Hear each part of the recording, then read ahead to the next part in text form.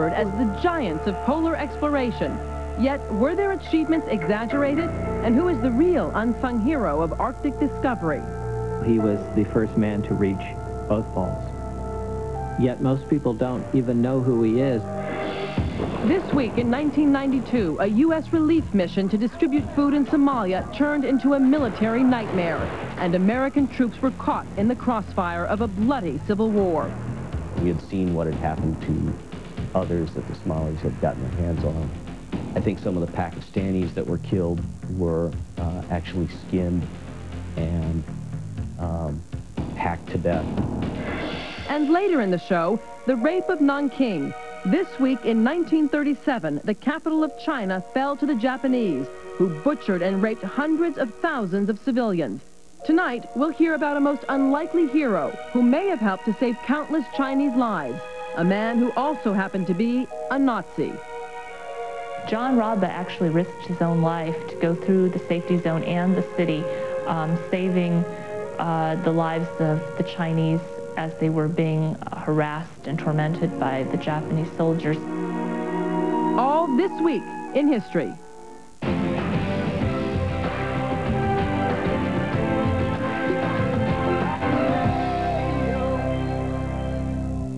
Good evening, everyone. I'm Giselle Fernandez. And I'm Josh Binswanger. Welcome to This Week in History. Tonight, we'll be bringing you some of history's most memorable moments. They did not all happen the same year. They did, however, all happen the same week, this week, the week of December 8th to December 14th. In his youth, explorer Roald Amundsen insisted on sleeping with the windows open during the frigid Norwegian winters to help condition himself for a life of polar exploration. That extreme conditioning paid off this week in 1911 as he became the first person to reach the South Pole. However, as we're about to see, Amundsen may have deserved credit for yet another of the century's most daring feats of exploration.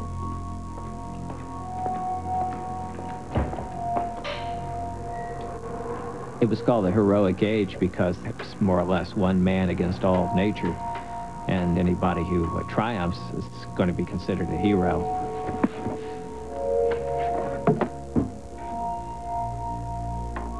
Those two points, the North and South Pole, were the uh, grand prize. There can only be one first. That was the principle that drove men to glory and death in the quest to proclaim it. The pole at last.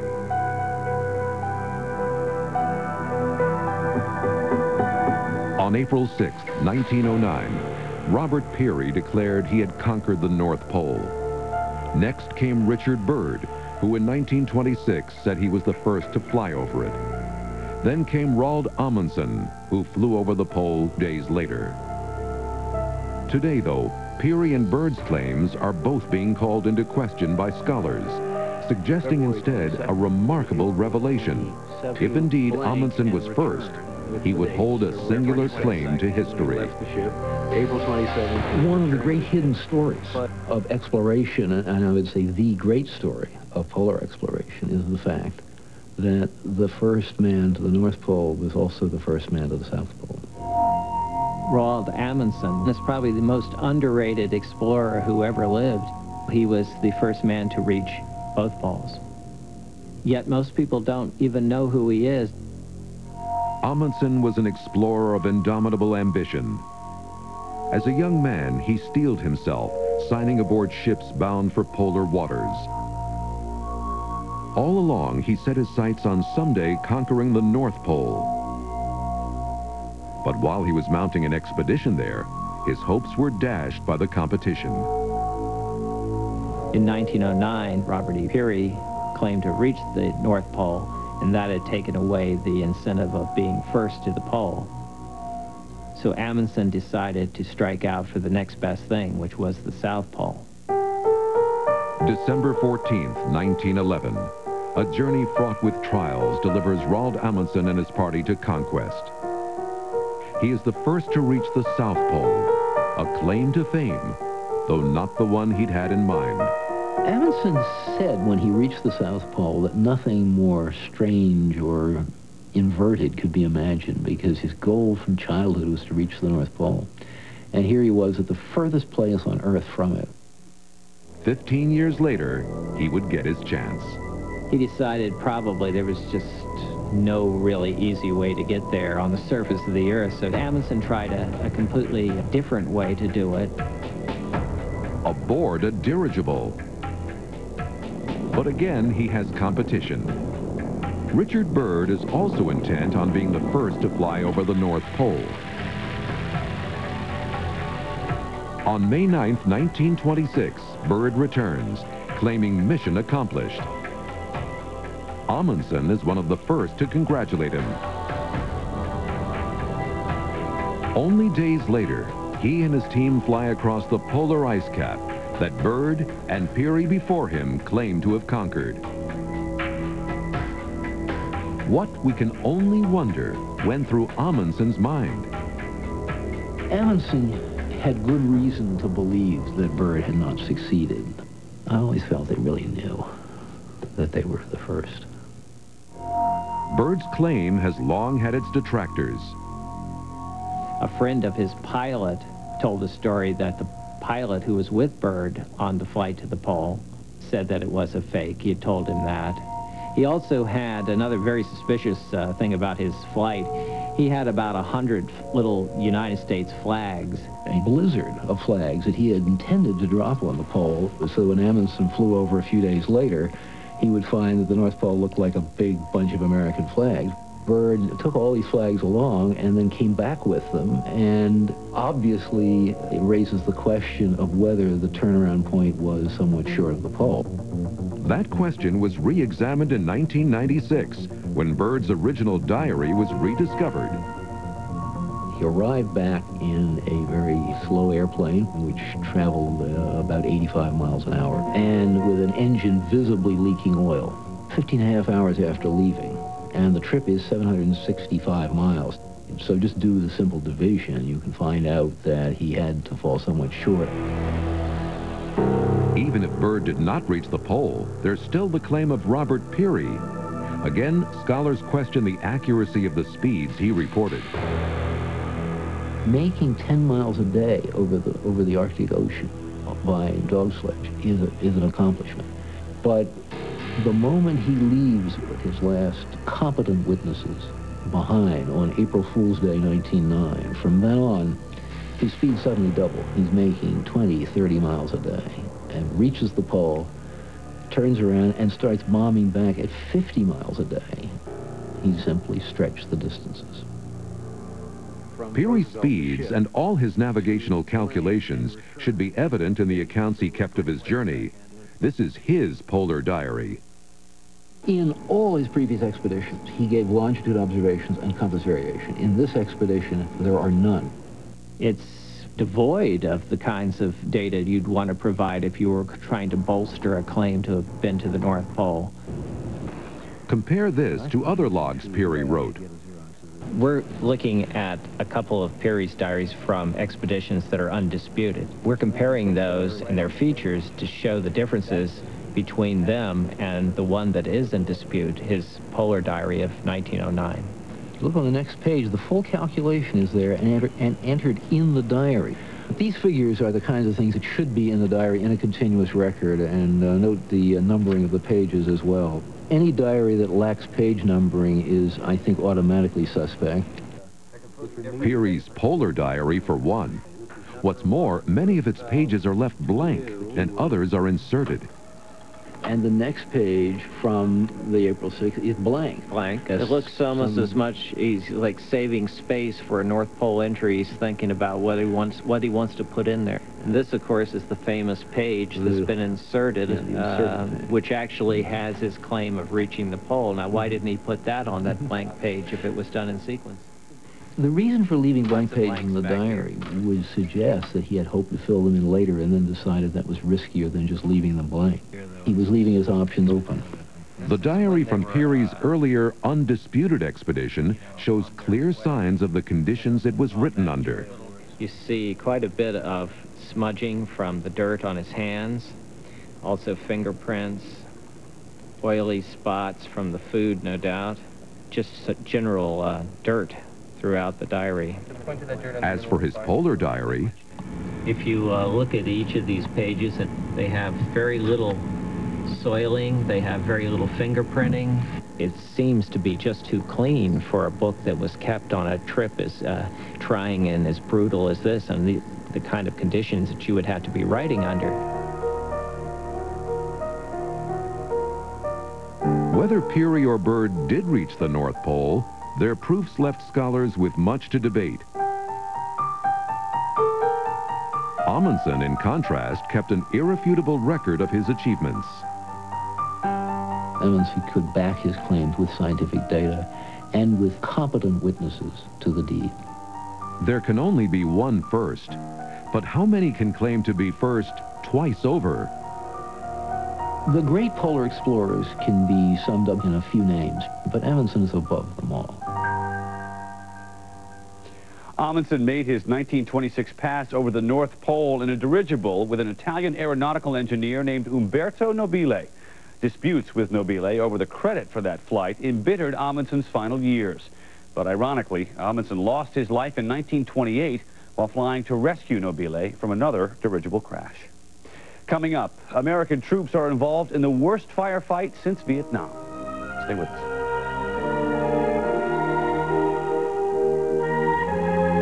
Can you guess our notable person of the week? He was born and raised in Ireland. At the age of 26, he became a Roman Catholic priest. He emigrated to the United States in 1904. And 83 years ago this week, he opened what would become one of the best-known facilities for the rehabilitation of troubled youth. Who is this notable person? The answer when we return. Welcome, analysts. This was a challenging fiscal year for the company. Due to unpredictable weather, earnings are down. Welcome, analysts. But as everyone knows, you can't predict the weather. There's nothing you can do about it.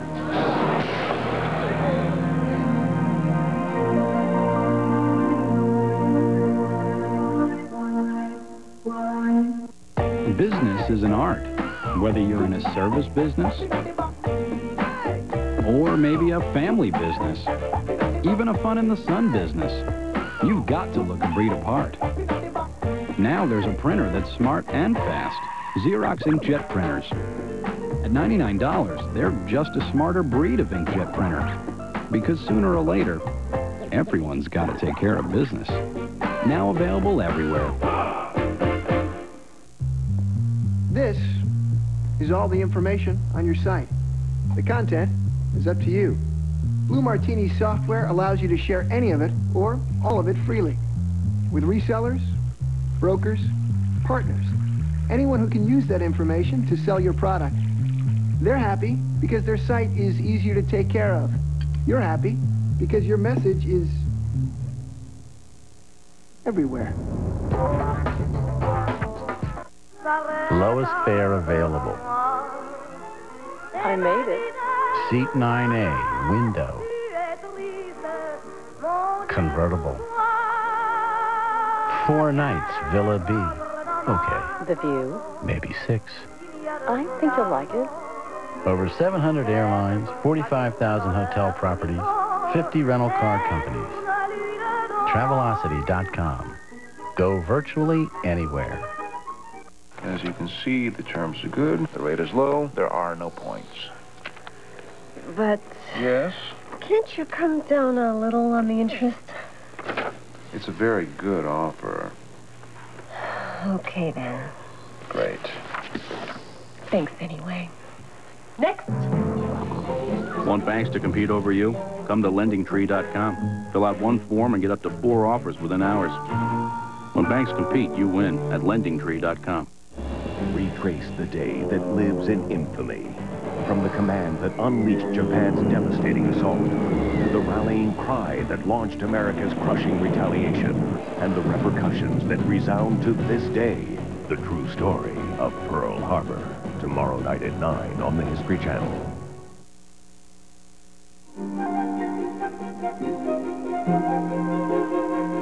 Our notable person of the week is Father Edward Joseph Flanagan. Father Flanagan founded Boys Town in Omaha, Nebraska on December 12, 1917, in an attempt to rehabilitate the orphans, neglected children, and young rebels of the community. Flanagan had a unique approach to winning the boys' trust through caring and nurturing. Father Flanagan became a local folk hero and then a nationally known figure in 1938 when MGM made the popular film Boys Town, starring Spencer Tracy and Mickey Rooney. Welcome back to This Week in History, everyone. 28 years ago this week, Apollo 17's Harrison Schmitt and Eugene Cernan became the last men to walk on the moon. By the time they made their historic walk, the final three Apollo missions had already been canceled due to budgetary constraints. For the year 2001, NASA is slated to receive more than 14 billion in government funding for programs, including human spaceflight and the research and development of new technologies. According to NASA, they have the smallest budget of all the major agencies in the federal government. Some critics contend, though, that NASA should receive no government money, believing that NASA should be privately funded. So we've made the issue of federal support for the space program the subject of our weekly website poll. How do you feel about your tax dollars being used to fund NASA? A, NASA should receive more tax dollars. B, NASA should receive fewer tax dollars. C, NASA should receive no tax money at all. Or D, NASA currently receives the correct amount of tax money it should get. Let us know what you think by logging on to HistoryChannel.com and casting your vote. We'll bring you the results later in the show. Josh? Thanks, Giselle.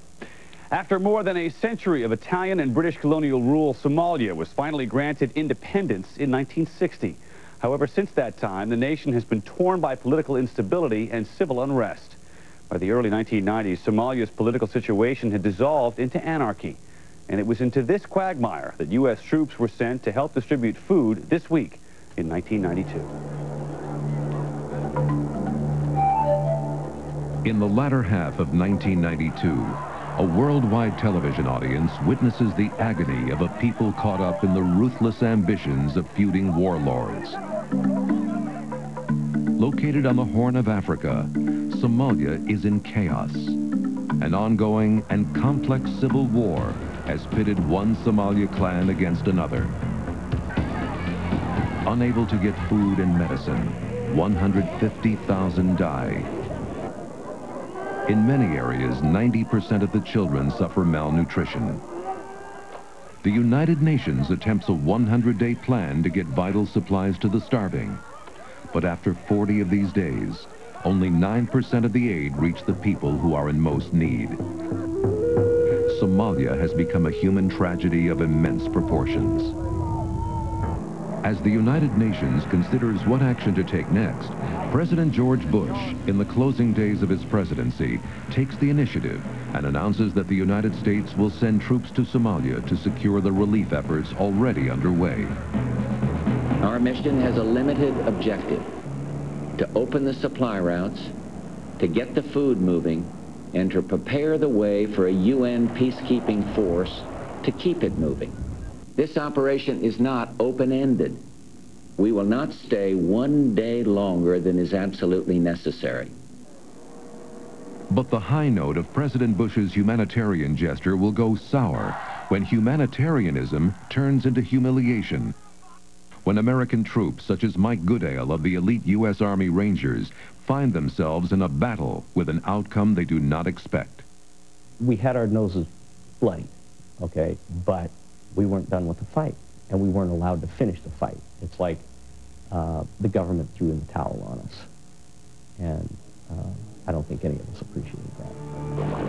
Eight days after President Bush's address, American troops arrive on the beaches of Somalia's capital, Mogadishu, in one of the most bizarre military actions in history. A carnival-like atmosphere greets the landing forces. Their grand arrival becomes a primetime television event as the world press gathers with cameras and lights to welcome the Americans ashore. The Army doesn't foresee that American military history will soon take an unexpected turn, this one with deadly and far-reaching consequences. When everything changed from giving the food out to, okay, well now we want to help you set up a government and we want you to be more like us, that's when things start to fall apart. Despite the simple and narrow focus of its original mission, to help the UN distribute food, the United States soon finds itself party to Somalia's civil war. Eight months after their arrival, American troops are ordered to engage in a manhunt for Mohammed Farah Aidid, the leader of one of the warring factions who was obstructing the peace effort. In an attempt to reduce his influence, units of the secret U.S. Army anti-terrorist Delta Force are sent to Somalia. The Delta Force has been trained to kill or capture a single person or a whole village. This time, their mission is to bring in Aidid. The job of protecting the Delta Force is given to the Army's elite ranger unit of which Goodale is a member. We were told that this was to help with the nation-building process and um, that this particular warlord was um, coming in the way of the United Nations and causing lots of problems. Aidid proves to be an elusive target, so Goodale's ranger unit is ordered to assist in the capture of two of his lieutenants. Positive that this is just another routine mission, most of Goodale's unit leave their heavy night goggles and other equipment behind. Black Hawk helicopters ferry them to a crowded hostile residential neighborhood of Mogadishu. The Delta Force storms the house where Aidid's aides are hiding and make the capture as the Rangers guard the perimeter. As they wait for a convoy to take them back to base, one of the Rangers' Black Hawk helicopters is shot down. The Rangers try to rescue the pilots, who have fallen only a few blocks away in the narrow, hostile streets of the city. We had seen what had happened to others that the Somalis had gotten their hands on. I think some of the Pakistanis that were killed were uh, actually skinned and um, hacked to death with machetes. Then the Somalis bring down a second Black Hawk. The routine mission is now anything but routine. The protection the copters provided is gone. As they wait for a convoy to rescue them, the streets fill up with angry Somali men carrying guns. Shielded by women and children, the Somalis fire at the Americans. So anybody that wanted to take a shot at us decided this was the time, this was the place. The Americans are in the bad section of town. They seem to be cut off. So let's surround them and, and do what we can to them. And, uh, and they did. They just came out of everywhere. The disturbing part was that they used the women and the children. There were many instances of younger boys, you know, uh, 12, 13, 14, running out, running ammunition back and forth to some of the gunmen, maybe trying to get to a gun that had been dropped by someone who'd been shot. And we would see uh, one person would get shot in the middle of the street, and two, uh, two or three other people in succession would run out to try to pick up their rifle, and then we'd shoot that person, and then another person would run out, and there would end up being a pile. The firefight with the Somalis lasts through the night. In the battle, 18 U.S. soldiers are killed, but so are more than 500 Somalis. The Rangers' routine mission turns into 17 hours of horror, the most violent firefight since Vietnam. Before it is over, Goodale is wounded in the thigh honestly, I really did tell myself that before I ran out of ammunition, I would refuse to be taken. And I considered killing myself. Um, and no, it's not any part of the military doctrine or any kind of stuff like that. I just, it was someplace that I didn't want to be. Finally, help arrives as the rescue convoy is able to fight their way through the resistance in the streets. The wounded Goodale is sent to an army hospital in Europe. There, for the first time, he sees the picture that shocked the American people and changed American foreign policy. I looked at it and I took one glance and said, I know that person. He was my door gunner. And I really got terribly upset with the press because if I had only met this guy two months earlier and I could recognize him, I thought, don't you think that this man's seven-year-old son is going to recognize that's dad? And that really hurt. That hurt a lot. The downing of the Blackhawks and the widespread release of the horrifying pictures of a dead American soldier being dragged through the streets caused President Clinton to announce he will end the mission and bring American troops home from Somalia. Back in the United States, Sergeant Mike Goodale leaves the Rangers and returns to Illinois where he becomes a history teacher in suburban Chicago. A teacher who saw one bit of history painfully close. The American people don't want to see, you know, their soldiers being dragged around uh, like a piece of meat in the street, getting beaten and, and kicked and, and things like that. But I think the American people need to realize that if we are going to get involved in these kinds of things, that it, that's a possibility. Since the 1993 firefight in Mogadishu, Delta forces have been sent to Kosovo and perhaps other unknown places. But the Army's Rangers have stayed at home to engage in constant training. Despite flare-ups around the world that could have used their help, the Rangers have not been sent on any new missions. General Mohammed Farah Aidid was eventually gunned down by a rival faction in 1996. In an ironic turn of events, Aidid was replaced by his own son Hussein, who had once been a U.S. Marine serving in Somalia. At the age of 14, Hussein Aidid moved to the U.S. with his mother, and that's when he became a U.S. citizen. He joined the Marines and served as a liaison between the U.S. forces and his father during the 1992 military action. And after his father's death, other clan leaders invited Hussein to assume power over the tribe which he accepted. Currently, clan violence continues in Somalia, and Hussein Aidid remains the head of his father's clan. Next, we'll find out about the invention that got millions of people teed off when we return. Forty-nine years ago this week, after 11 All-Star games and 10 World Series, Joe DiMaggio, the Yankee Clipper, called it quits leaving behind a legacy as one of baseball's greatest and most respected players. When Yankee fan Paul Simon wrote Mrs. Robinson 16 years later, he found a hero in DiMaggio, a man who was remembered for his grace on and off the field. Do you know the last line in the song? The answer when we return.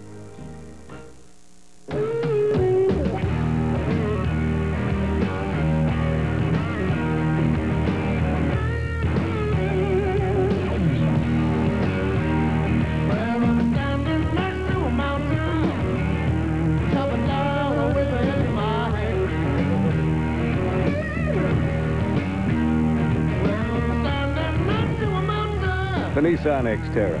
Everything you need, nothing you don't.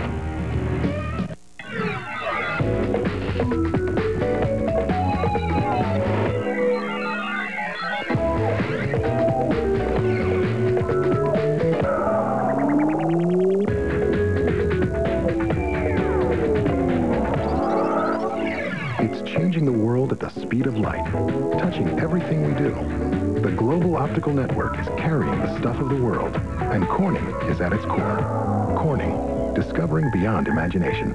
Do you remember my client, Mr. Foley? Yeah, yeah. He uh, wanted to retire and go into teaching. Asia Solodusky. Pre-retire. Uh, he had a uh, pretty substantial portfolio. This is my first day of school.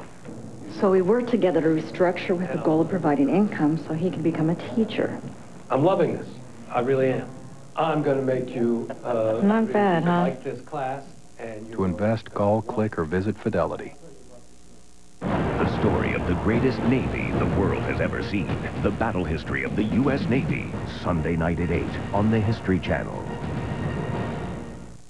Next on the History Channel. Hollywood may have killed the Western, but its spirits roam these streets. From the ghostly stairs at the OK Corral to the eerie music at the Birdcage, legendary souls live on. Tombstone on Haunted History. Next, only on the History Channel. Can you tell the difference between these contact lenses?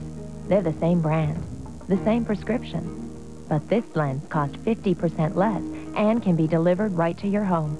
That's the Lens Express difference.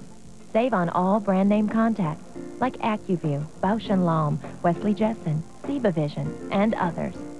With Lens Express, you can replace your contacts and save. Call now for your free Lens Express catalog.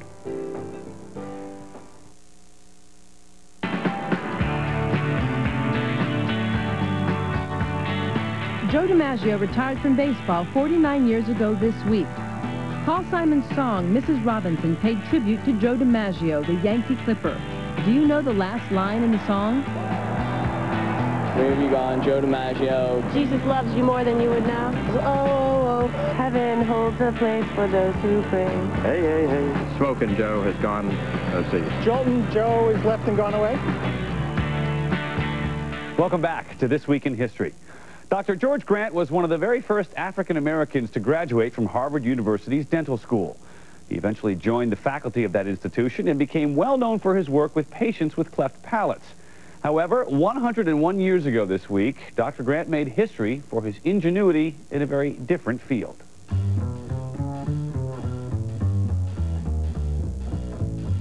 Wherever golf is played, and whoever is playing, one aspect of the game is taken for granted, the humble tee. But the tee as we know it has only been around for about 100 years. Believe it or not, golfers used to tee off from little piles of wet sand. Luckily, all that changed thanks to two American dentists. In the late 1800s, Dr. George Grant, the second African American to graduate from the Harvard Dental School, is passionate about golf. As is the custom, before teeing off, he dips his hand in a bucket of water, sprinkles it over a bucket of sand, picks up a handful of damp sand, and places it on the ground. After pinching the sand into a little mound and placing the ball on top, he's ready to swing. But building dirty, gritty sand tees is no fun, especially for an accomplished dentist who depends on his hands. And like any golfer, he's looking for an edge.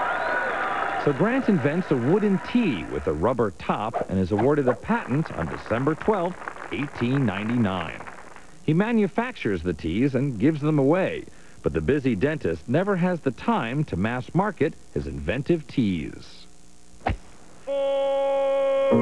The modern tee doesn't become popular until the 1920s, when another dentist, Dr. William Lowell, takes a break from seeing patients and whittles a wooden tee using his dental tools. He paints it red and declares it the Ready Tee.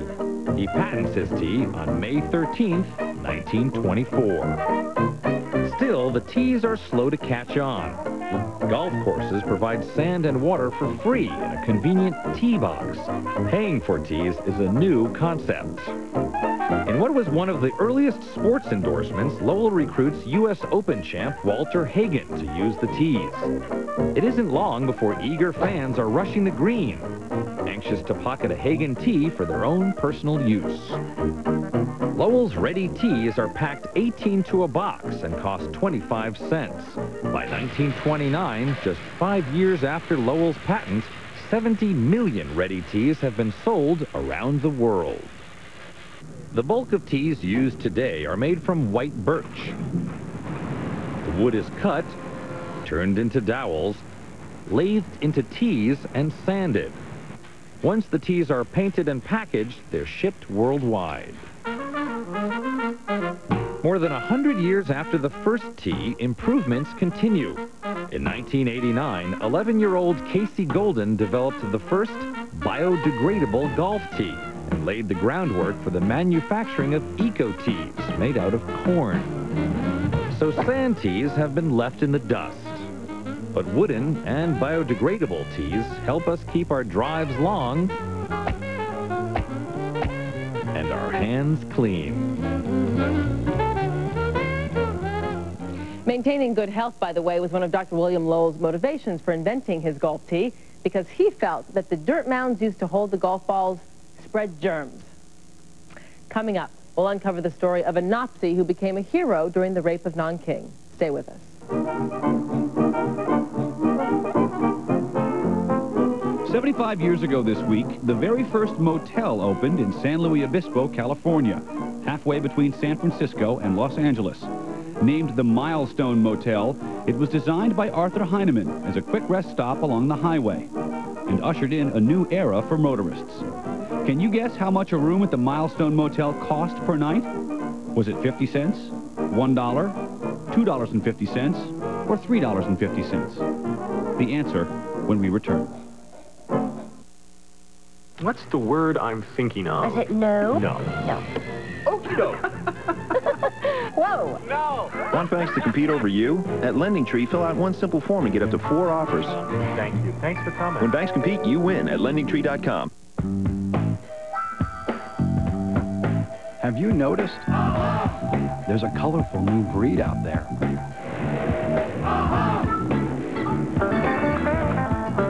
It's a fast breed, a smarter breed of inkjet printer. But don't worry, they're easy to spot. And at $99, just as easy to catch. Xerox, just a smarter breed of inkjet printer, now available everywhere.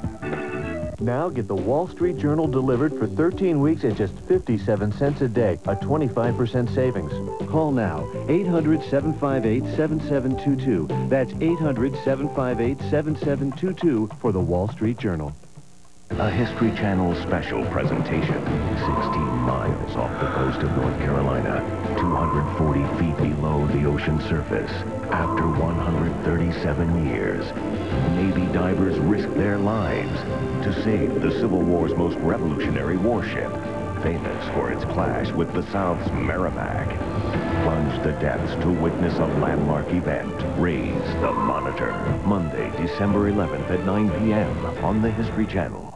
Join me, Barry Bostwick, and celebrity friends for the Great American History Quiz. Friday, December 15th at 8 p.m. Only on the History Channel.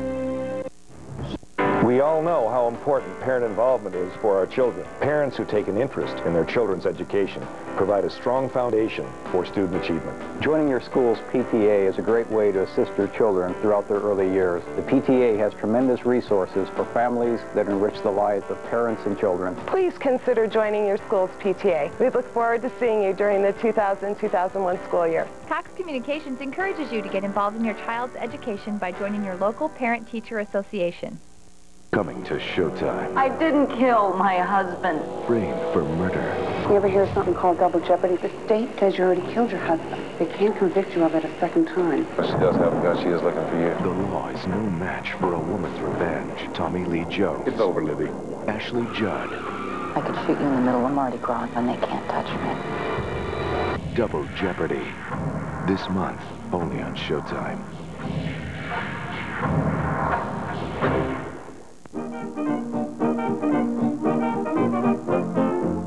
A room at the first roadside motel, the Milestone Motel, cost $2.50 per night when it opened on December 12, 1925. The word motel was short for motor hotel. Heineman's attempts to copyright the name motel were unsuccessful, but the word made its way into the pages of Webster's dictionary in 1950. Welcome back. 20 years ago this week, the voice of a generation was silenced. On December 8, 1980, John Lennon and his wife Yoko Ono were returning to their home at the Dakota apartment building in Manhattan when Lennon was shot seven times by obsessed fan Mark David Chapman. 25-year-old Chapman eventually pled guilty to the crime and was sentenced to serve 20 years to life in prison. Millions of fans around the world mourn the loss of Lennon and, at Ono's request, participated in a 10-minute moment of silence on December 14th of that year. This past fall, Mark David Chapman came up for parole for the first time, but his request to be released was denied. Now to one of the most brutal and disturbing events of the 20th century. This week, in 1937, Japanese forces seized the Chinese capital of Nanking. Over the next two months, the Japanese instituted a reign of terror that came to be known as the Rape of Nanking. During this tragedy, there emerged an incredibly unlikely hero.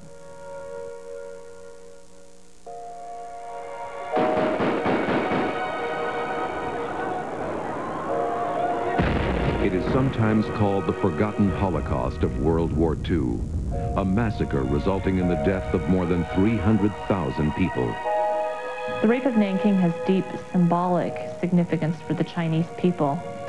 Perhaps not just because of the scale of the atrocities, but how they were committed. Just the level of brutality was mind-boggling. That brutality prompts one man to take a stand that will save hundreds of thousands of lives. John Rabe, the good Nazi of Nanking. Japanese forces sweeping through China reached the capital city of Nanking on December 13, 1937. Chinese leader Chiang Kai-shek and his government have fled the city, along with foreign diplomats. But a handful of Westerners, mostly missionaries, stay behind. Concerned about the well-being of Nanking's defenseless residents, they decide to create a safety zone, a place of refuge for those caught in the crossfire between the armies of Japan and China. Originally, they just meant it to be a temporary resting spot for some of the homeless people. They didn't anticipate that it would be the chief sanctuary for the entire city during this massacre. The two and a half square mile area is meant to be a neutral zone off limits to combatants. To enforce this rule, the missionaries make a surprising choice for their leader. John Rabe was a German businessman in Nanking. He worked for the Siemens company selling technology to the Chinese nationalist government before the fall of the city. Um, he was also a member of the Nazi party. It is, in fact, his standing as leader of the local Nazi party that makes Rabe so important to the missionaries, according to his granddaughter, Ursula Reinhardt. He was well known and was chosen chairman of the security zone. They thought, oh, this Rabe is able to organize, and his nation is still allied with the Chinese. And so they hoped he could be helpful. John Rabe, he believed that because he was a German, and he, of course, he seemed he was close to the German government, he had a very strong position uh, towards the Japanese.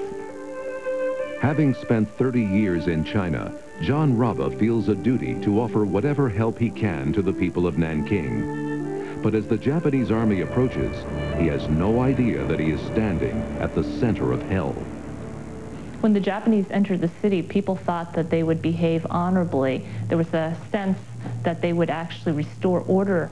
Some of the Nanking residents actually greeted the Japanese with uh, Japanese flags as they marched in. But they soon experience a rude awakening. Japanese soldiers burn and loot homes.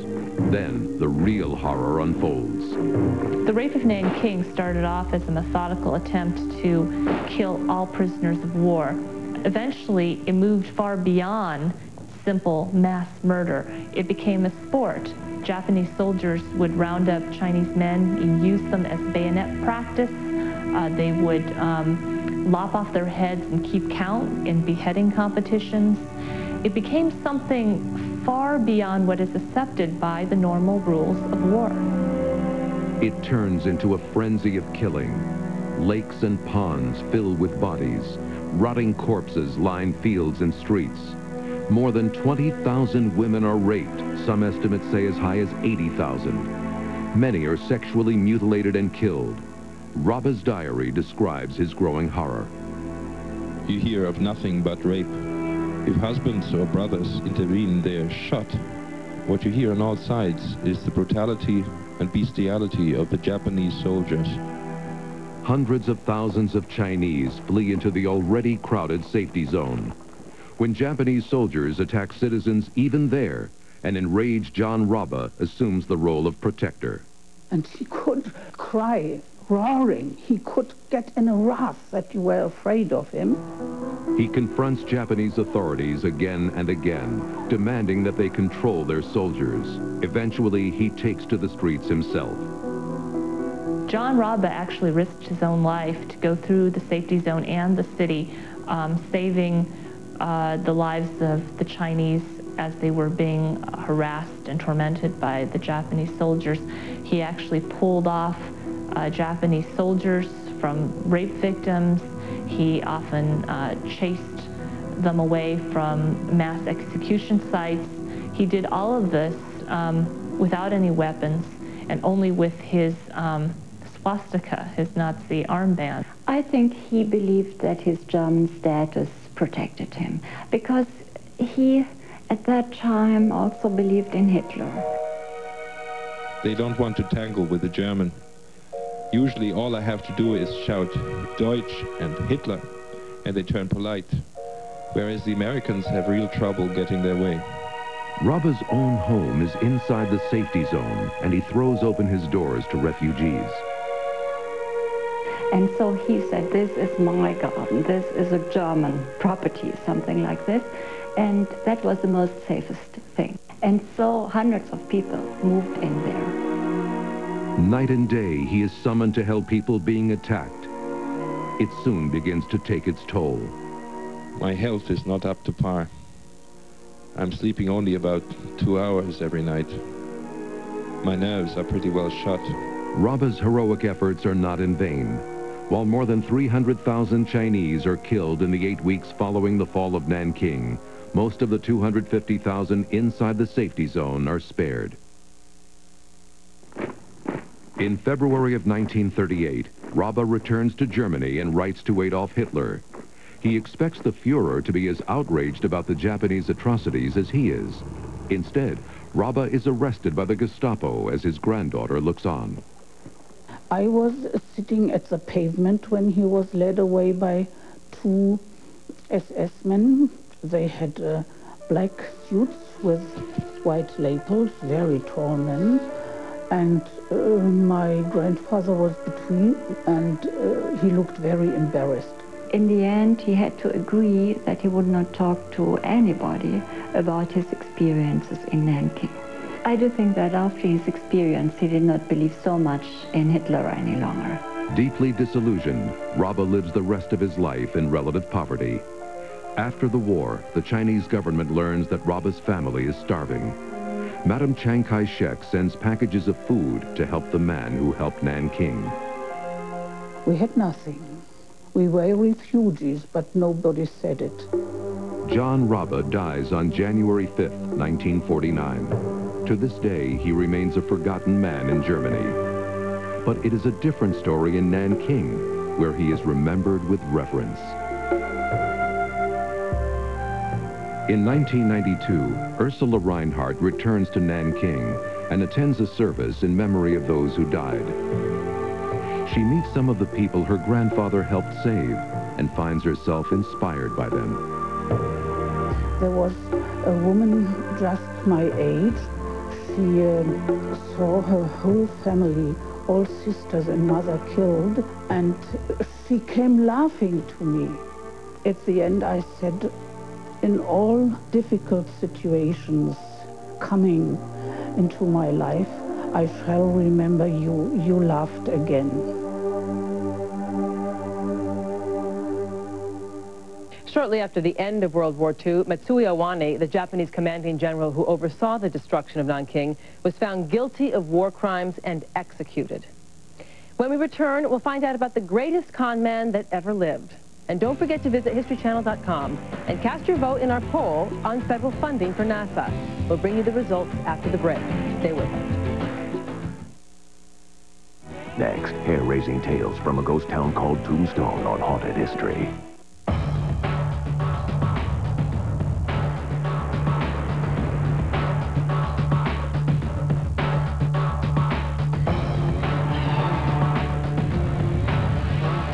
Leave the city behind. Leave everything behind. The 240 horsepower Infiniti QX4. Imagine the ultimate luxury vehicle. We have.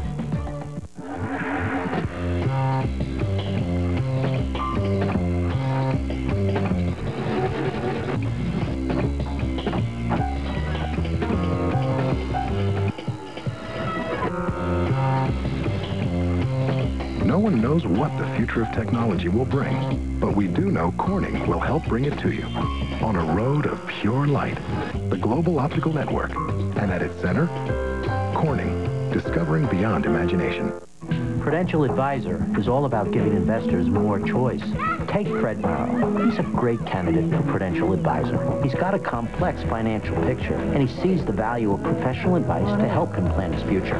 With Prudential Advisor, he can get my advice and get access to world-class research, how and when he needs it. Plus, he can take advantage of all the Internet has to offer. Advice, research, technology. With Prudential Advisor, you could have it all. Monday on the History Channel. This amazing structure under the sea could have been created 10,000 years ago, so why haven't you heard about it? Find out why some scholars refuse to study it. Japan's sunken pyramids on an all-new History's Mysteries. Monday night at 8 on the History Channel. Charlie! Did you finish those projects yet? To get tough jobs done fast, reach for Ace Hardware's exclusive Gear Wrench Plus, the complete toolkit that features the Ace Gear Wrench, the most incredible hand tool since the ratchet. The ratcheting head turns fasteners in record time and needs as little as 5 degrees of movement. Add the drive adapter and the Ace Gear Wrench transforms into a fine-tooth ratchet. Use the dual position extension for hard-to-reach off-angle fasteners. And with the drive handle, adapter, and drive bits, you can tighten everything from screws to Allen head bolts. With six gear wrenches plus all the adapters, drive bits, and sockets, Ace Gear Wrench Plus can tackle any tough job. To get your Gear Wrench Plus, stop by your local Ace Hardware retailer or call this toll-free number. At just $49.99 plus shipping and handling, Ace Gear Wrench makes the perfect gift for the do-it-yourselfer. Charlie! Thank you, Charlie. We now return to This Week in History. Are the results of tonight's website poll.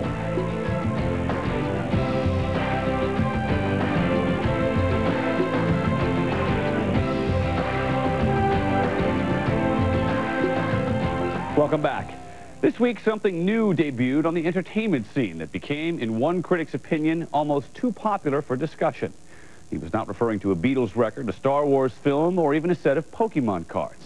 He was talking about Alfred Lord Tennyson's poem about a battle during the Crimean War, The Charge of the Light Brigade, which was first published on December 9, 1854. Cannon to the right of them, cannon to the left of them, cannon in front of them, volleyed and thundered. Tennyson's gripping description of combat became one of the most popular poems of the Victorian era. Now let's find out what else happened this week in entertainment.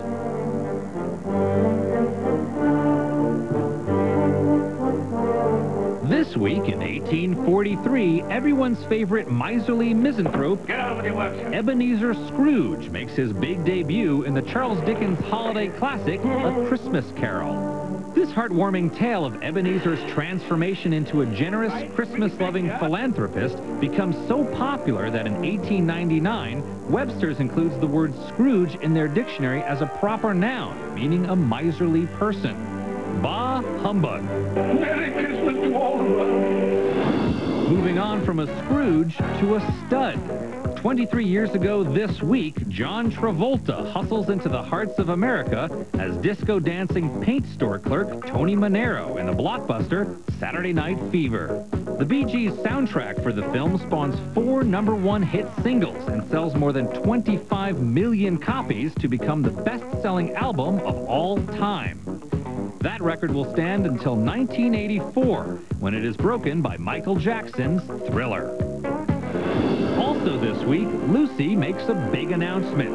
Lucille Ball and Desi Arnaz had feared that Lucy's real-life pregnancy might spell doom for their hit show, I Love Lucy. But the show's producers decide to take a risk by allowing the red-headed star to become the first pregnant actress to play a pregnant woman on TV. The risk pays off, and one year later, 44 million Americans tune in to watch the episode in which Lucy gives birth to little Ricky. The very next day, only 29 million viewers tune in to watch President Eisenhower's inauguration. And that's what happened this week in entertainment. Lucille Ball was six months pregnant with their first child when she and Desi produced the pilot for I Love Lucy in 1951. And during the filming, as you can imagine, Lucy had to wear loose-fitting clothes to conceal the big belly. Now we're moving on to a story about one of the most clever and devious scams in history. If you've ever felt embarrassed because you were taken for a ride by a con man, you may not feel quite so badly about yourself after watching tonight's edition of Would You Believe?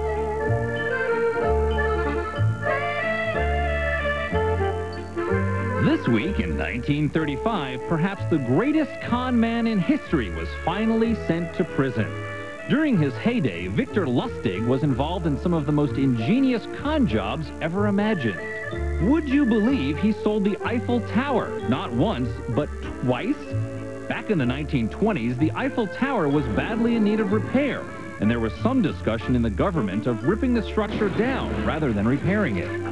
Lustig seized the opportunity and printed up phony credentials, claiming that he was a government official in charge of selling the rights to tear down the tower and haul away the scrap. He invited a group of scrap iron dealers to come discuss the issue and told them that the government had already made the decision to tear down the tower, but wanted to keep it quiet for fear of a public outcry. The dealers bought Lustig's story and promptly submitted bids to buy the landmark.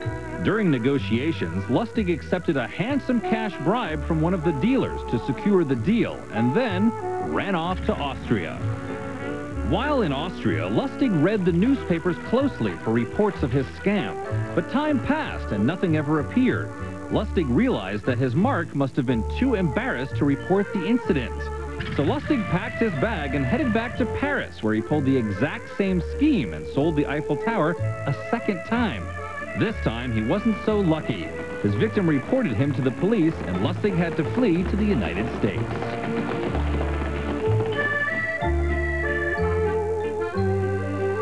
After moving to the United States, Lustig continued his life of deceit until he was finally arrested in 1935 for his role in a counterfeiting scheme. He was convicted and sent to Alcatraz, where he lived out the rest of his days behind bars until his death in 1947. Well, once again, as we've seen, one week in time holds an amazing wealth of history, doesn't it? Be sure to join us next week when the Wright brothers soar into history at Kitty Hawk. We'll hear about the Japanese-American soldiers who fought for the same country that was imprisoning their families. We'll also relive the fall of Manuel Noriega through the eyes of the man who replaced him. And we'll uncover the real reasons for the shutting down of Operation Blue Book, the government's official investigation into UFOs. Look forward to all of that. All this and much more next week on This Week in History. Good night. Next on the History Channel. Hollywood may have killed the Western, but its spirits roam these streets. From the ghostly stairs at the OK Corral to the eerie music at the Birdcage, legendary souls live on. Tombstone on Haunted History. Next, only on the History Channel.